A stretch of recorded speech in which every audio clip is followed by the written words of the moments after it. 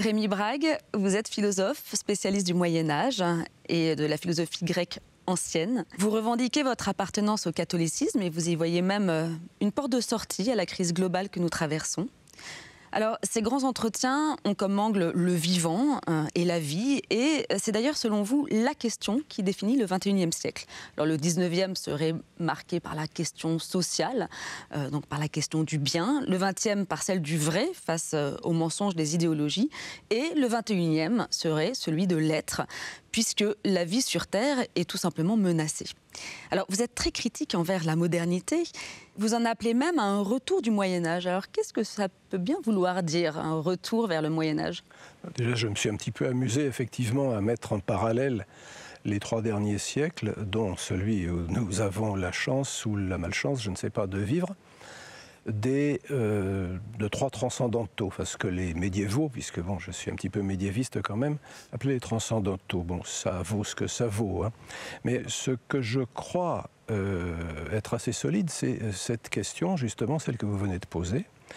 Est-ce que euh, la modernité nous permet de, non pas seulement de concevoir la vie, puisque effectivement, euh, le projet d'une science du vivant est un projet qui date du 19e siècle, hein, lorsque l'on a inventé le mot biologie mhm. pour décrire ce nouveau programme de recherche.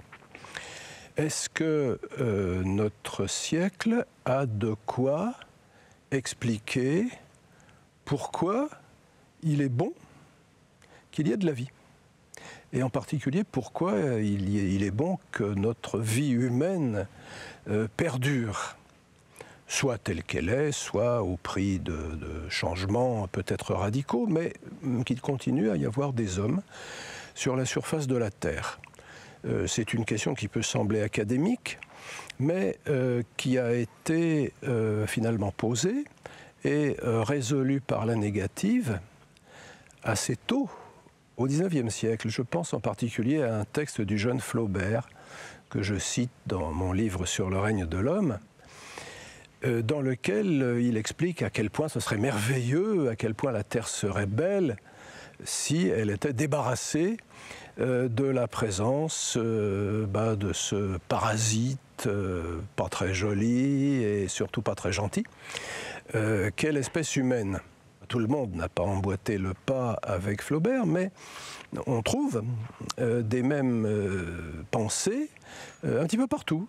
Lawrence, enfin pas, pas, le, pas Lawrence d'Arabie, hein, mais D.H. Lawrence, hein, qui a exactement la même idée. Si on supprimait l'homme, eh bien il y a de nouvelles créatures, peut-être plus belles, plus plus digne, je ne sais pas, en tout cas meilleur que, que l'homme qui pourrait surgir de la forge primitive. Enfin, il a une image un petit peu, un petit peu baroque.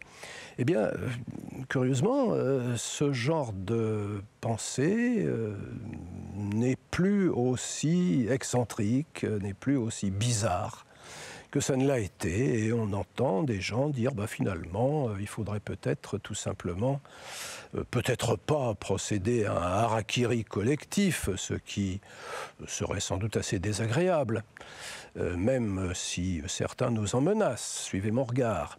Mais nous pourrions peut-être tout simplement euh, cesser d'assurer la perpétuation de l'espèce humaine, bah, tout simplement en cessant de nous reproduire. Ça ferait peut-être du bien aux autres animaux. La question se posant évidemment de savoir qui trouverait ça bien. Euh, je ne sais pas du tout si euh, une espèce animale euh, serait capable d'apprécier et de porter un jugement de valeur sur la situation qui serait ainsi créée. Mais enfin bon, ça c'est un autre problème peut-être. C'est aussi un des discours de la deep écologie avec la divinité euh, Gaïa, euh, qui serait effectivement, euh, enfin que, vous fustigez, oh, en tout cas que, vous désignez comme voilà comme une, manière effectivement de d'humilier l'homme. Oui, mais je, ne fustige pas grand-chose. Simplement, je fais remarquer que on reconnaît les idoles, si je puis mm. dire, à ce qu'elles exigent des sacrifices humains. Alors, euh, il y a déjà l'idole de la nation qui a pas mal de sang à son débit. Euh, il y a eu l'idole de la race, euh, même chose. Il y a eu l'idole de la classe. alors, peut-être sommes-nous en train d'ériger cette nouvelle idole dont nous avons emprunté le nom aux travaux d'un savant britannique tout à fait respectable comme savant, Lovelock, mais on a transformé cette idée pour en faire justement une sorte de, bah oui, de divinité. D'ailleurs, ce n'est pas totalement innocent, même chez Lovelock, d'avoir repris euh, le nom de cette divinité grecque, qui est la terre un peu personnifiée. Alors est-ce qu'on peut euh, vraiment euh, lui offrir des sacrifices? Et quel genre de sacrifice? Le sien propre, ça peut peut-être aller, mais enfin le sacrifice de notre prochain, là, je serais peut-être un peu plus réservé. Alors comment on est passé de, l'humanisme à cet anti-humanisme finalement? euh, vous déplorez? Bah, Peut-être justement à cause d'une dialectique interne à l'humanisme lui-même. Mhm. Euh, une fois que l'homme euh, se considère lui-même comme ce qu'il y a de, de mieux, ce qu'il y a de plus haut, et pas seulement ce qu'il y a de plus fort, dans ce qui existe, lorsqu'il congédie d'une part la nature qui, pour les Grecs, euh, l'avait produit. Et dont il était finalement le, chef-d'œuvre, mais un chef-d'œuvre qui n'était pas destiné à se vanter, pas à se croire trop malin, mais plutôt à considérer qu'il avait réalisé le plus pleinement les intentions euh, d'une force qui ne venait pas de lui. Une fois que l'on a congédié également le Dieu créateur, à l'image duquel l'homme aurait été créé, ben, l'homme se trouve tout en haut, si je puis dire, tout en haut de l'échelle. Et donc, euh, alors ça peut être très agréable, on a peut-être une meilleure vue sur le reste de ce qui est lorsqu'on est placé très haut, mais euh, ça a pour inconvénient que euh, on ne peut plus savoir s'il est bon que l'on soit ce que l'on est. Parce que, évidemment, si on demande à une personne l'avis qu'elle a sur elle-même, en général, elle va plutôt être satisfaite sauf quelques cas pathologiques. Mais euh, tout le monde sait qu'on ne juge pas une personne sur l'opinion qu'elle a d'elle-même. Eh bien, il, semble que euh, l'humanité, dans son ensemble, soit un petit peu dans cette situation. Elle ne sait plus trop euh, s'il est vraiment légitime. J'ai parlé de la légitimité de l'humain dans un de mes livres.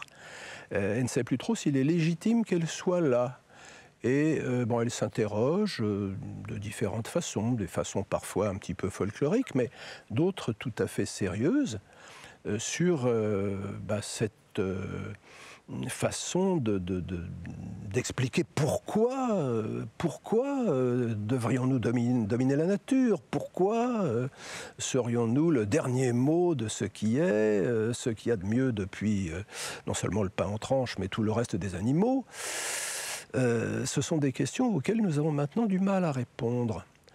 Et euh, je répète. y est arrivé euh, précédemment. Par exemple, vous, vous citez bah, un texte que j'ai trouvé formidablement intéressant, celui des frères sincères, donc au Xe siècle. Oui. Oui. qui met en scène une sorte de procès euh, où euh, les hommes et les animaux comparaissent auprès du, roi des djinns. Est-ce que vous pourriez nous en dire un mot? Parce que c'est très étonnant ce texte. c'est tout, à fait, tout à fait amusant. Euh, c'est sans doute le passage le plus célèbre de cette fameuse encyclopédie dite des frères sincères ou des frères de la pureté. Alors il y a cette, cette épître, puisque ça s'appelle un recueil d'épîtres, il y en a 52 ou 53, enfin c'est aussi un problème. Euh, et la plus célèbre, la plus longue sans doute. il y a effectivement un procès euh, des hommes et de l'animal, mais ce qui est intéressant, c'est qu'il se passe devant une tierce partie. Hein, il, y a une, instance neutre. Alors ce sont les djinns, donc, qui, euh, dans la cosmologie islamique, sont un petit peu intermédiaires entre, entre l'homme, l'animal, l'ange, enfin ce sont des, des, êtres un petit peu ambigus. Euh, alors, qui sont nos djinns, si je puis dire? Devant quel tribunal euh, pouvons-nous dire euh, bah, l'homme est plutôt mieux ou plutôt moins bien?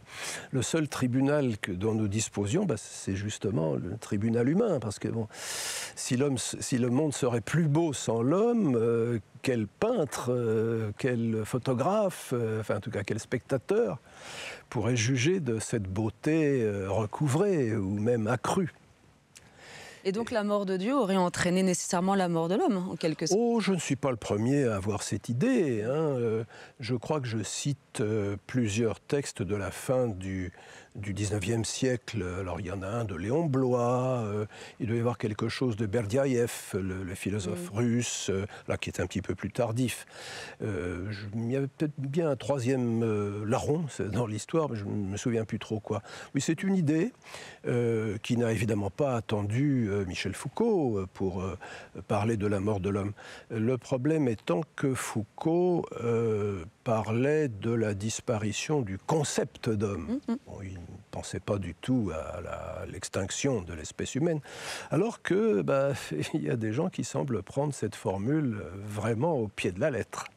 Alors justement, on parlait de Michel Foucault. J'aimerais vous faire euh, regarder un petit extrait d'une émission euh, qui a eu lieu au Louvre. Mhm. À partir d'un certain moment qu'on peut situer entre la fin du XVIe siècle et le début du, XIXe, il s'est passé un phénomène important tout de même, c'est que l'homme a cessé d'être immédiatement dominé par les grandes menaces de la mort, c'est-à-dire par les menaces des épidémies, des famines, les formidables ravages de la mortalité infantile, et que l'homme a en quelque sorte disposé les sociétés humaines. Je parle uniquement d'ailleurs de l'Occident mais c'est là où les choses se sont nouées, que les, sociétés occidentales ont commencé à disposer d'une espèce de marge de survie, à partir duquel l'homme est devenu relativement disponible par rapport à ces urgences fondamentales ou à ces grandes menaces de la mort qui avaient traversé son histoire jusque-là. Et alors c'est à partir de ce moment-là qu'il a fallu en quelque sorte à la fois euh, utiliser et mettre en question, essayer de, problématiser euh, euh, l'homme en tant qu'il pouvait être disponible. D'où la question euh, qu'est-ce qu'on va en faire? Comment l'appliquer Appliquer cet individu eh bien, à la croissance des, forces productives? Comment le discipliner? Comment construire des grands corps politiques, etc. Et je crois qu'on a eu là toute une technologie de l'homme qui s'est développée à partir de ce moment-là, qui est la question de l'homme. Est-ce que cette question durera autant que l'humanité? Peut-être pas. Peut-être pas. Alors c'était en 1976. Mhm. Est-ce que euh, vous auriez des commentaires à faire ah bah, C'est toujours excitant euh, d'entendre Foucault d'une part, c'est toujours excitant d'entendre un historien des idées, puisqu'il l'était quand même aussi un peu, et même beaucoup, euh, s'exprimer en prenant comment dire, autant de recul. En remontant, il l'a dit, jusqu'au XVIe siècle. Hein. Pour lui, cette grande période du XVIe au XIXe, bon, euh, je ne sais pas trop euh, si on pourrait peut-être euh, introduire là-dedans des, césures. Enfin, il, le faisait lui-même. Hein, les mots et les choses, les mots et les choses, c'est ça. Hein. Alors moi, je dirais que j'introduirais peut-être une césure de plus euh, c'est la, réformation ce qu'on appelle la réforme protestante. Enfin, les protestants préfèrent parler, je crois, de réformation. Euh, la réformation a entraîné quand même avec cette idée euh, moins claire chez Luther que chez Calvin d'une corruption radicale de l'homme. Mm. et, donc d'un salut qui ne peut venir que d'ailleurs. Alors dans le cas de Calvin, bien entendu, c'était euh, la foi, euh, l'abandon sans réserve euh, de, l'être de la personne entre les, mains de Dieu, les mains du Créateur. Et puis c'est devenu assez vite l'idée suivant laquelle la nature, la nature, pas seulement la nature humaine, mais la nature en elle-même, était à tout le moins moralement neutre et peut-être même euh, pas tout à fait si gentille qu'on pourrait le penser. Et donc il fallait euh, la prendre en main, il fallait la, contrôler.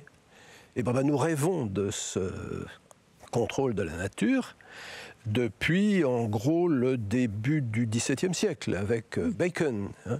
Notre Descartes que tout le monde cite, bon, on n'a fait finalement que le citer. On mm. sait qu'il connaissait Bacon. Et bon, la fameuse phrase euh, sur l'homme qui devrait devenir comme maître et possesseur de la nature, bon, est assez isolée dans son œuvre. Mm. Mais bon, en tout cas, euh, on est là aussi assez vite passé d'un projet euh, c'est ce que j'appelle le projet moderne, hein, que je distingue d'ailleurs de la modernité. La modernité, comme époque historique, bon, a apporté, comme toutes les époques historiques, du bien et du mal. L'homme moderne est aussi bête et méchant que le précédent ou le suivant, enfin, bon, ce qui n'est pas peu dire d'ailleurs. Mais euh, on, a, on a pu passer assez vite, finalement, de l'idée d'un contrôle de la nature qui serait exercé par l'homme à la réalité d'un contrôle de certains hommes par certains autres au moyen de la connaissance de la nature. Parce qu'on dit, bon, euh, contrôler la nature, d'accord, mais enfin, ça veut surtout dire, concrètement, que euh, certains hommes qui, disposent justement du pouvoir de contrôler certaines des forces de la nature euh, s'empressent de contrôler certains autres hommes. Donc, euh, moi, c'est ça que je trouve un peu, un peu problématique dans la modernité, c'est que euh, comme justement on ne peut plus dire qu'il est bon qu'il soit qu'il existe des hommes, ben on est très tenté de dire que euh, ça va être à certains hommes de déterminer s'il est bon que certains autres existent ou non. Hmm. Ce zoologue britannique qui s'appelait Bernal, Bernal et, euh, qui euh, se pose la question que l'on se pose maintenant à propos du rêve transhumaniste.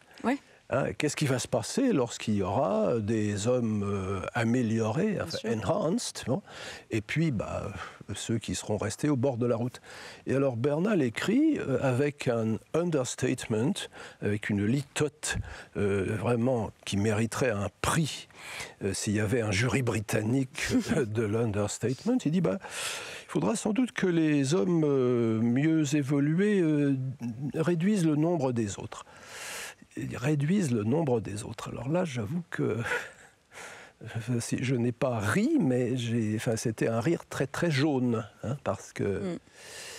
Et bien sûr, gens ont essayé on réinscrit en fait euh, des hiérarchies à l'intérieur de l'humanité. Euh, comment on pourrait le qualifier d'anti Oui, un anti-humanisme.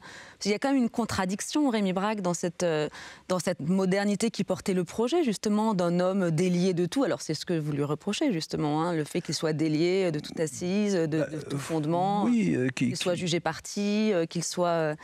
Euh, comme maître et possesseur de la nature. Euh, aujourd'hui, comment on pourrait exprimer justement, euh, d'un point de vue assez concret, le, résultat finalement de cette espèce de oui, d'autonomie, d'indépendance autoproclamée de l'humanité le résultat, c'est que vous avez prononcé le mot autonomie, je crois que vous avez mis vraiment le, doigt là où ça fait mal.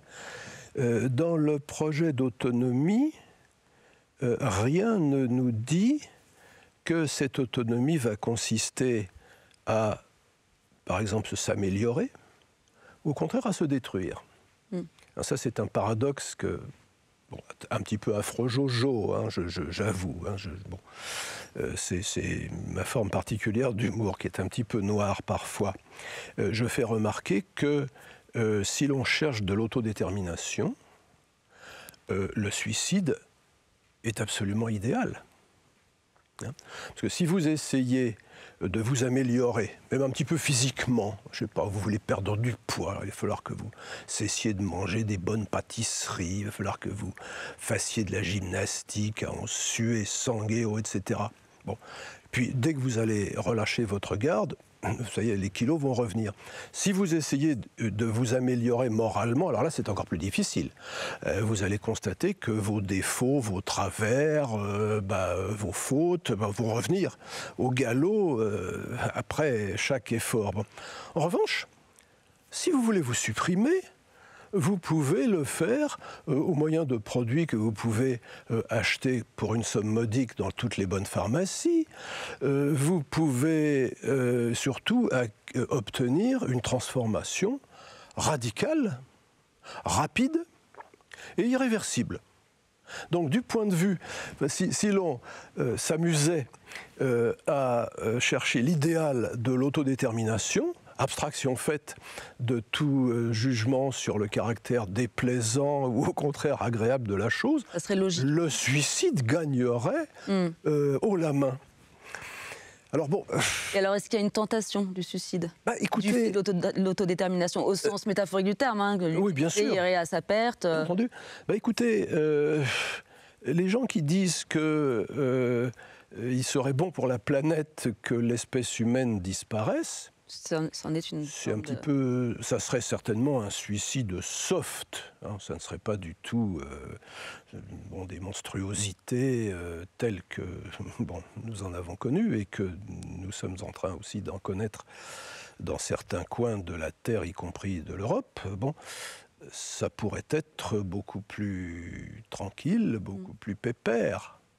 Donc, au fond, vous en appelez à un rappel ou un retour à une forme d'endettement. On n'est pas totalement euh, bah, autodéterminé, on, on, est lié à, euh, à des racines, à des cultures, à des, euh, des endettements sociaux ou... Oui, bah écoutez... Euh, Et même, y compris d'ailleurs, j'y ajouterais au Moyen Âge, puisque la modernité finalement s'émancipe du Moyen Âge en faisant oublier ses racines. Oui, bah, euh, nos racines sont beaucoup plus profondes. D'une certaine manière, elles commencent au Big Bang, hein, puisque les savants nous expliquent que les atomes dont sont faits nos corps sont très très anciens, ont été mm. fabriqués, si je puis dire, enfin produits ou apparus, j'en sais rien.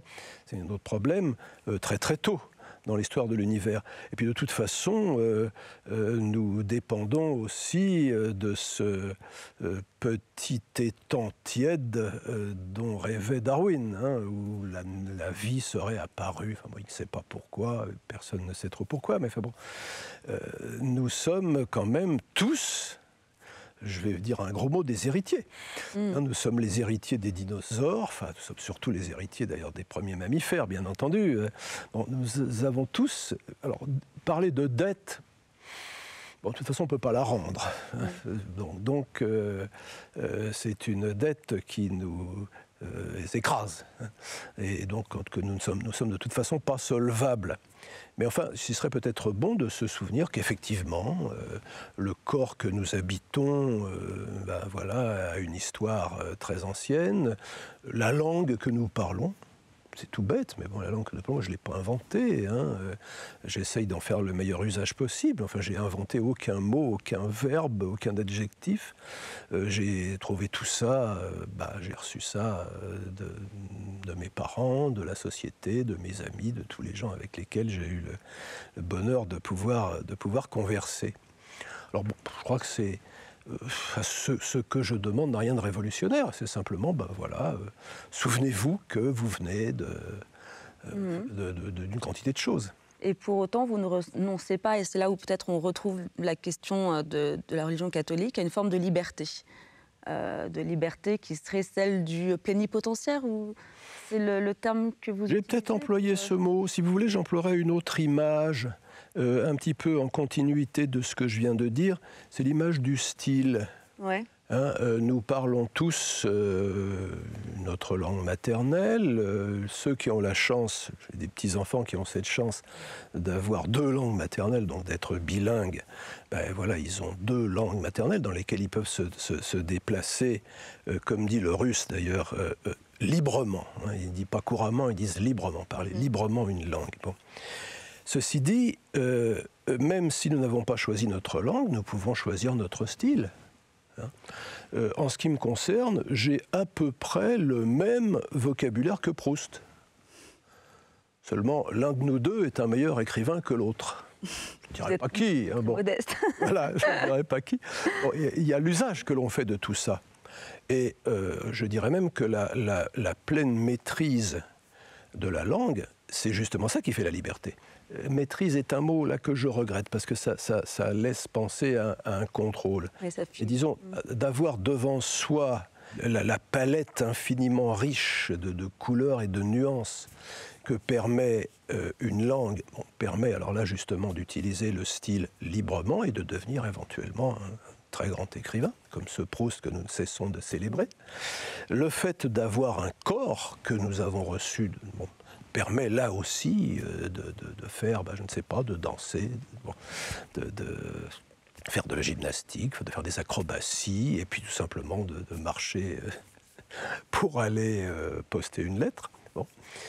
tout cela montre que la liberté n'est pas du tout le contraire du fait d'avoir reçu, au contraire, hein. c'est plutôt l'appropriation, l'appropriation habile de ce qui est reçu qui, qui, nous rend libres. Si vous deviez définir en une phrase la grande question philosophique d'aujourd'hui, comment la formuleriez-vous? En termes techniques, je dirais la convertibilité des transcendantaux. Bon. Et en euh, traduction? En traduction, bah, euh, ce qui est est-il bon? C'est tout bête. Mm. Hein. est-ce que, est que l'être et, est-ce que l'être et le bien coïncident? Évidemment, c'est une question philosophique parce qu'elle mm. parce qu'elle est paradoxale toute question, beaucoup de questions philosophiques sont paradoxales. On a envie de dire, ben non, regardez, ça, ça, va pas bien, il y a, du mal partout, etc. Bah oui, mais euh, si on n'a pas euh, quelque part, comme diraient nos amis psy, euh, la conviction de cette identité profonde et en dépit des apparences, bah, on n'aura peut-être même pas l'envie de venir à bout de ce que l'on peut euh, éliminer euh, du mal qui nous menace d'un peu partout. Merci beaucoup, Rémi Brague. Je vous en prie. C'est moi qui vous remercie, comme on dit. Et comme je pense, en l'occurrence.